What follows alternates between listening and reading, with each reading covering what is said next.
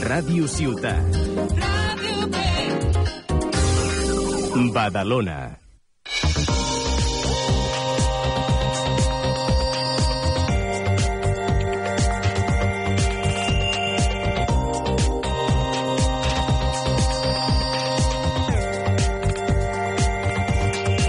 Un minut passa de dos quarts de dotze. La meitat dels membres de l'Església que hi ha al Vaticà són homosexuals. Això és el que afirma Christoph Carança, membre destacat de la Congregació per la Doctrina de la Fe en el seu llibre La Primera Pedra.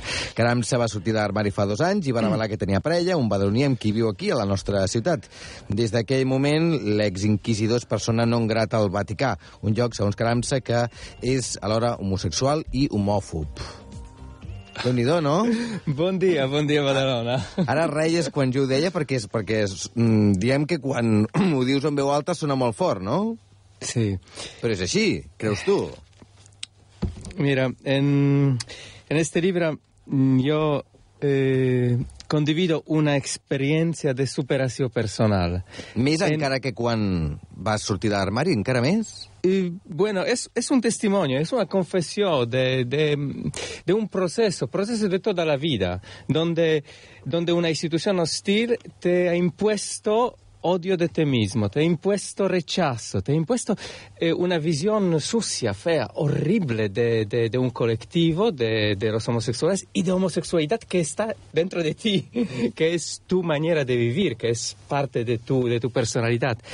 Eh, y claro, es un, es un, ¿sabe? Es, un libro que, busca un lector, eh, busca una persona que como amiga, amiga, se pone a tu lado y te escucha, te escucha en tu liberación. Al mismo tiempo empieza a pensar a su, a su vida, porque creo que esta, la mi historia, mi historia de un, de un gay en, una iglesia homófoba, en realidad se podría comparar con... eh, eh, con eh, muchas historias de las discriminaciones. Se piensa una mujer en, en una familia donde está violentada por su marido, lo quiere, pero al mismo tiempo debe maturar para denunciarlo y para liberarse. Y, y vive un proceso que es un proceso horrible, donde muchas veces no tiene nadie a su lado, donde muchas veces tiene una sociedad que no la entiende y ella debe denunciar una persona que quiere. Yo debería denunciar en este libro mi comunidad, mi familia, porque así considero mi iglesia, eh, donde, eh, donde he recibido muchas cosas buenas, pero donde al mismo tiempo eh, fue negado, rechazado y odiado en, en una parte importantísima de, de mi personalidad, que es, que es la homosexualidad.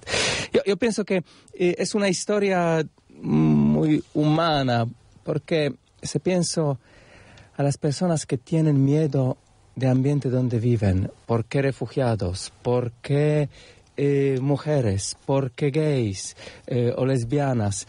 Eh, ¿Por qué simplemente no comprendidas? eh, y por eso rechazadas. ¿Sabes? Así funcionan nuestras fobías. Antes nos, tenemos miedo de uno y así lo rechazamos, empezamos a odiarlo. Com has vist aquesta conferència de, de l'arquebisbat de Barcelona en què es defensa el celibat per als homosexuals? No, no, no he vivido, no he vivido la conferencia porque de domingo, No- no ha sido, de domingo claro yo, yo, yo descanso, rezo, estudio. No, mm, mira, eh, no, no me preocupa mitómanos. Mitómanos necesitan otros mitómanos. Eh, eh, lo que me preocupa es mi iglesia que usa personajes de este tipo. Clar, li dona un espai per fer la conferència, Sí, sí, ma en realidad eh, vive solamente gracias a estos personajes. Hoy no se confronta con psicólogos, médicos, no se confronta con universidad. Esto fue, eh, fue, eh, fue una, una clara prohibición, porque, porque en, mi iglesia se dice que la, la- ciencia hoy eh, está dominada por una lobby y no tiene nada que hacer con la verdad. Nosotros nos apoyamos a personajes de este tipo porque vemos que confirman la posición de la Iglesia, que hoy está en clara claro contraste con la, con la ciencia. Hay, hay muchos otros casos en la iglesia de este tipo. Eh, yo en una última entrevista aquí en Cataluña eh, citaba el caso de, de Tony Anatrella, que es un, un pseudopsicólogo eh, no reconocido por asociaciones psicológicas, pero opera solamente en la iglesia. Está curando los gays eh, creyentes de la homosexualidad en terapias. Bueno, lo hace desde 30 años. Él ha preparado en la iglesia, como experto del Vaticano, las leyes anti, anti-gays, las leyes homofóbicas de la iglesia. Ahora, eh, sus pacientes lo acusan de abusos sexuales durante la terapia. Este es nivel de la iglesia. Esto es, este, este es círculo de la gente con cual la, la iglesia se confronta. El caso de este señor es, es curioso porque eh, él es un fundamentalista religioso. Él confirma que tiene un problema psicológico, que es enfermo, porque tiene tensiones sexuales afectivas no, no, no, no, no resolucionadas. De, entonces es un problema psicológico, así considera la homosexualidad como mi iglesia. Y dice, pero yo no lo curo, yo lo curo con la fe con oración, con rosario. Yo lo curo con eh, confianza en Dios. Bueno, hay muchísimas sectas donde la gente, los padres, no curan hijos cuando están enfermos, pero rezan e hijos mueren. Eh, cuando hay un trastorno, cuando hay ante ti una enfermedad, debes curarla psicológicamente con ayuda de, profesionistas. Eh, la hora, en Polonia, ¿sabes? En Polonia obispos enseñan hoy eh, que la infertilidad de las parejas se cura con la oración a San Pablo II. Y hay una buena parte de sociedad polaca que lo cree. Y. yo, yo, soy, yo soy, soy teólogo, soy persona racional, no puedo confrontarme con, con fundamentalismos, no, no. Eh, no es esta la... la tu és persona la... racional, però històricament s'ha resat per demanar miracles, ¿no? Sí, Això va amb bueno, la fe cristiana, ¿no? Sí, miracles existen, pero son una otra cosa. Miracles no, eh, no rechazan la razón, no rechazan la confrontación con la razón, y esto es enseñanza de mi iglesia. Mi iglesia me dice todo tiempo que nosotros no somos fundamentalistas. Bueno, en práctica lo somos, lo somos. Eh, eh, lo, que, lo que me preocupa es que mm, la Iglesia no se ha confrontado con la ciencia y para apoyar propia doctrina sobre homosexualidad necesita la ciencia del siglo XIX. XIX, Necesita eh, de ver la homosexualidad como algo patológico, porque solamente así puede decir que es pecado. Si la homosexualidad es natural, no puede ser pecado porque es una manera de amar. Eh, entonces la Iglesia hace un, una manipulación horrible usando señores de este tipo que, que han llegado aquí. Eh, hace la manipulación presentando la comunidad homosexual como personas eh, malas, criminales, más capaces de, de mal que, que, los demás. presenta homosexuales en una en una perspectiva negativa, así para suscitar el miedo de este colectivo y después odio, así de rechazarlo. Es una manera de estigmatizar las personas y, y dominarlas, dominarlas eh, especialmente cuando cuando son débiles, cuando no tienen, eh, cuando buscan de comprenderse mismos y confían en la iglesia, son un terreno, eh, terreno abierto para, para una, una, verdadera manipulación de fundamentalismo religioso. I... Tu has enviat una carta eh, al papa. Sí, no? sí. Dient-li sí. que els bisbes gais, sí. perdó, que els bisbes gais i els sacerdots gais haurien sí. de tenir el valor d'abandonar l'església, com sí. has fet tu. Sí, ma mm, esta... Pero esta ¿no sería millor intentar cambiarla o eso es imposible? En realidad yo no he abandonado la iglesia, es la iglesia que era, me ha rechazado cerrando Te la ha puerta. abandonado a ti, ¿no? Sí, sí, pero mm, esta llamada a los papas, cardenales, obispos eh, mm, y curas gays que deben salir del armario es una consecuencia de una ley que existe en la iglesia, la ley que no permite a los gays ser los, eh, los sacerdotes. Y además, esta ley prevé de verificar la homosexualidad. ¿Y eso cómo se verifica? Buena pregunta. Lo, de, lo debemos poner a, a, la iglesia porque la ley prevé, la verifica, es obligatoria y no dice cómo se, se verifica. Yo puedo, puedo intuir, porque hay, por ejemplo, una, una horrible técnica de examen anal que se usa en África y que hoy Naciones Unidas han condenado como tortura. El Comitato de Tortura lo considera tortura. Ma mi iglesia, el Vaticano, siempre ha apoyado estas técnicas en, en- en África. Ha apoyado leyes que usan estas técnicas de verifica de la homosexualidad y que después aplican prisión o la pena de muerte a, a los homosexuales.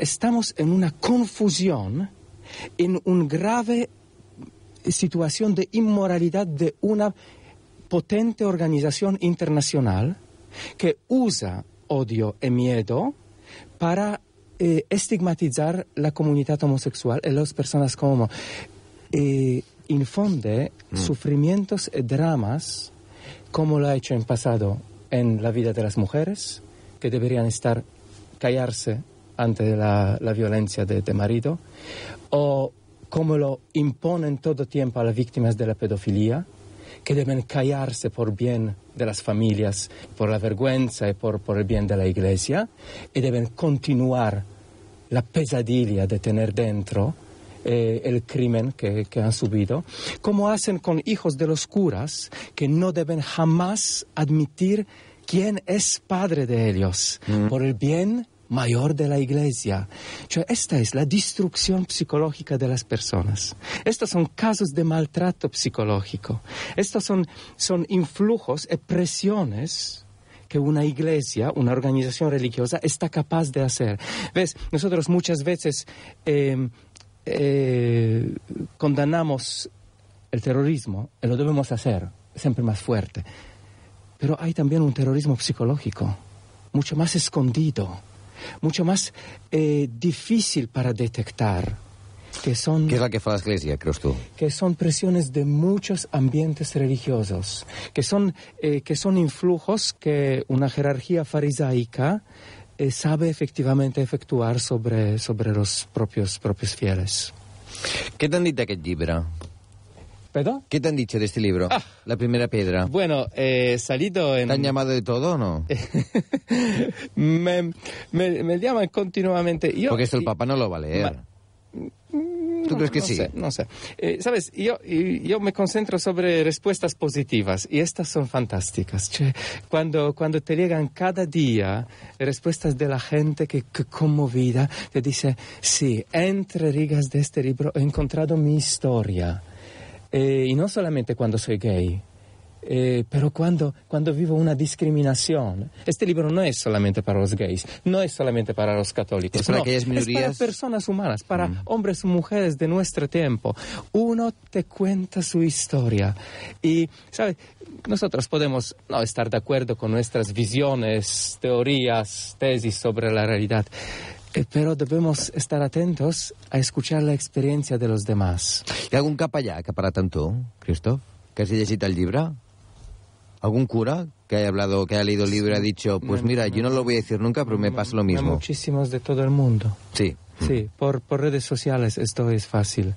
Eh, lo, que, lo que digo siempre que admiro estos, estos curas que sufren muchísimo, que, que son o gays o, o que tienen una fantástica relación con, con una mujer, eh, que, que viven la presión de una institución que no entiende eh, nuestra necesidad de amor, nuestra necesidad de, de ser personas mejores eh, por, por medio de una historia de relación personal que mm, es, curioso que la iglesia eh, impone algo que, que en final no tiene ninguna razón verdaderamente esencial para, para las personas creyentes.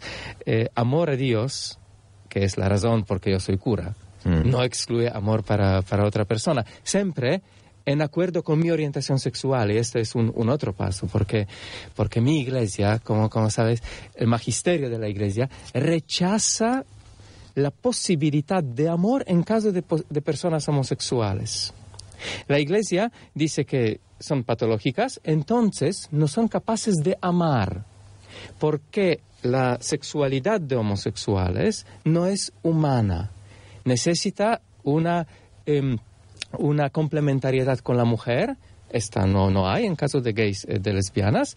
Entonces esto no es amor, es una verdadera estigmatización de una institución muy fuerte que en lugar de empezar a confrontarse con la ciencia y con experiencia de las personas felices, no solamente heterosexuales, eh, la estigmatiza y dice, no, no, no, ellos por, por naturaleza son deformes. Y, no son, y ellos solamente buscan el sexo, buscan, eh, buscan prácticamente algo hedonístico que no expresa amor.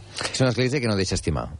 Eh, sí, mira, eh, esto, esto fue la, mm, puedo decir, eh, el momento, uno de más dramáticos en mi, en mi vida, cuando he descubierto que la iglesia de mí habla en esta manera. Yo que he ofrecido a mi iglesia toda mi sensibilidad homosexual, toda mi vida de un homosexual, eh, estoy rechazado en lo que la iglesia debería ayudar a comprender, mientras, mientras lo estigmatiza y lo rechaza. Christoph Carança parla des del cor, com veieu, i també escriu des del cor en aquest llibre que es diu La primera pedra, mi rebelió en contra... Mi primera piedra, mi rebelió en contra la hipocresía de la iglesia, que jo us eh, recomano, Christoph. Moltes gràcies. Gràcies, Per sí. venir aquí, que Si saps que avui és el Dia. Mundial de la Ràdio, saps, no? Si me permites eh, convidar a los oyentes a la presentación Sí. de la primera pedra, que, que es el propio dijous, Mm. 16 de febrero, eh, hora di nou. ¿Y dónde? A Barcelona, eh, Plaza de Lesseps, el auditorio de la biblioteca Jaume Fuster. L'auditorio Pero de la biblioteca, el libro lo encuentras también en librerías de Badalona. No, y a ti paseando por la calle también. Di, di 16 de febrero, auditori di Biblioteca Fuster, os espero. Christoph, moltes gràcies. Gracias. Buenos Gracias días. ti, buenos días.